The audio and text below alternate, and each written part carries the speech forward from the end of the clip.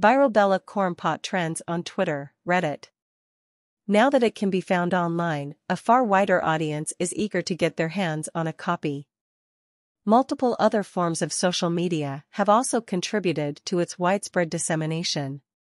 Since it has been so divisive online, it has gained widespread support. Viewers of online media are often inspired to pursue more knowledge after being exposed to content related to a certain subject.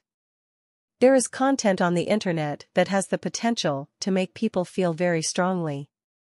There's a chance that the film's more mature topics were designed to attract an older audience. A number of sites claim to know where you may get the film, but not all of them are reliable sources.